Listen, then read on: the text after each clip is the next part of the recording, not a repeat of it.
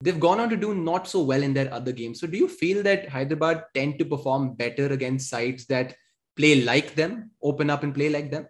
Absolutely, absolutely. Uh, this is the vital point when we discuss about the Hyderabad's games. So, like Mumbai, we know they are an attacking side. They will play attacking football. So, obviously, the opposite side, the opposite half will be open up. So, Hyderabad is a kind of a team. If they get open spaces in the final third, they can score goals. See, remember their first game against Chennai FC, which they lost.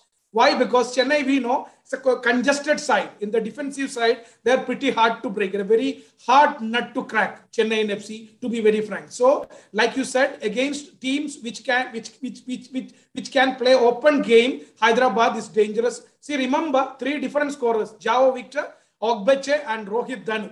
They they see this is something like we we call it as a, pistol offense. Hyderabad, we can call it as a pistol offense. This is something like shoot and run. I'll run, run and shoot. See, if, if, if, if, if you understand your opponent team is, is having clear edge over you uh, in a game, so what you do, never allow your opponent to settle down because they are the champions. So never allowed, Hyderabad never allowed Mumbai to settle down in that match and the eventual result 3-1 in favor of Hyderabad FC. So that was a pistol offense.